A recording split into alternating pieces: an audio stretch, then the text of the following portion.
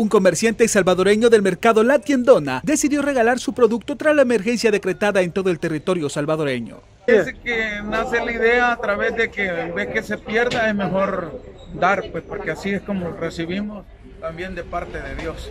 Es dar como se recibe. Entonces lo que hemos hecho nosotros es dar, ¿me? En vez que se pierda, se bote a un barril, eh, ver la necesidad también así como la necesidad que este hombre ha visto de los salvadoreños, pues, eh, como dice, meterlos a cuarentena. Don Miguel Ángel aseguró que el total de mercadería que regaló es equivalente al cargamento de tres camiones. Como tres mil cajas, son como unas seis camionadas. Desde ayer está... Desde ayer estamos en esa acción, gracias a Dios, pues Dios los ha permitido regalarlo, más que todo regalarlo. Aquí no se ha hecho vendido, pues vino bastante gente para apaciguar también la gente que lleve para ser tomatada, guardar sus tomatillos para cuando pase, aguantarse para que pase esto. ¿Como a cuánto equivale más o menos en, en dinero la, unos 30 mil dólares. La cuarentena domiciliar ha causado pérdidas a los comerciantes que venden productos perecederos, como es el caso de Don Miguel, quien a pesar de esto no dudó en tomar una buena acción y regalar su producto para que los salvadoreños subsistan ante la emergencia.